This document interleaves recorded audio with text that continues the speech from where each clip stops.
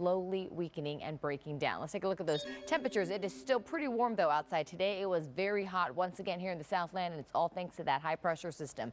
73 degrees right now for downtown LA, 71 for LAX, 80 for Riverside, 79 for Van Nuys, 75 for Fullerton, and currently 71 for Oxnard. And as we head into the overnight period, as you can already feel, temperatures much warmer than normal, and it's going to stay that way. And then by the time we head into Sunday, as high pressure breaks down and moves off to the east, we're going to see temperatures slightly cooler, maybe by a degree or two cooler than what we felt today.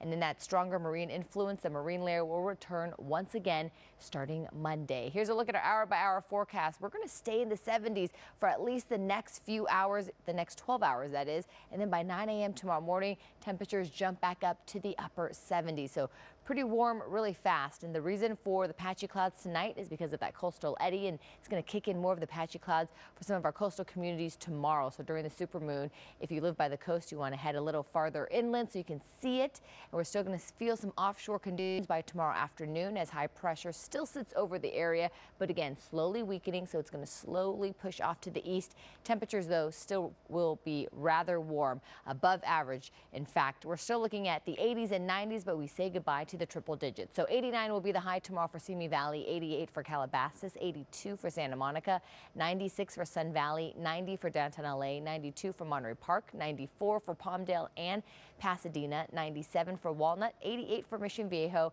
and low 80s for the coast of Orange County. Mid to upper 90s for the IE.